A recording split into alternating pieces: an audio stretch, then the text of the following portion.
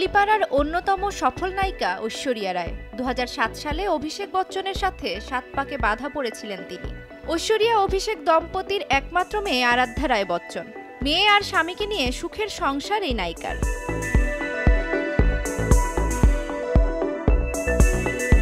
জনপ্রিয় এই নায়িকার নাম বিভিন্ন সময় উঠে এসেছে আলোচনায় সমালোচনায় আর ফের বিতর্কে এসেছে ঐশ্বরিয়া রায় বচ্চন।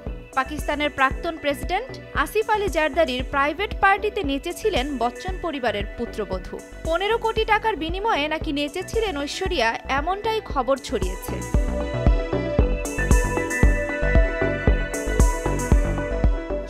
যাচ্ছে দু সালে আসিফ আলী জারদারি যখন পাকিস্তানের প্রেসিডেন্ট ছিলেন, তখনই সে দেশে গিয়ে পারফর্ম করেন ঐশ্বরিয়া, আর এর জন্য নাকি পনেরো কোটি টাকা পেয়েছিলেন।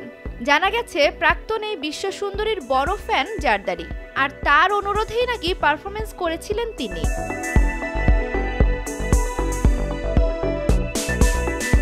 বিষয়টি নিয়ে অত্যন্ত গোপনীয়তা বজায় রাখা হয়েছিল। কোনো ছবি বা ভিডিও করায় কড়া নিষেধাজ্ঞা ছিল।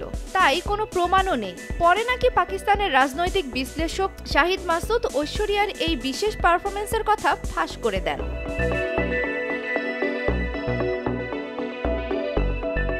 এর আগেও পানাম কেলেঙ্কারিতে অভিনেত্রীর নাম জড়িয়েছিল। সেই সূত্রে জিজ্ঞাসাবাদের জন্য তাকে এনফোর্সমেন্ট ডিরেক্টরেটের পক্ষ থেকে তলবও করা হয়। ইডির দপ্তরে হাজিরা দেন ঐশ্বরিয়া। শোনা গিয়েছে, প্রায় পাঁচ ঘণ্টা ধরে ম্যারাথন জিজ্ঞাসাবাদ করা হয়েছিল।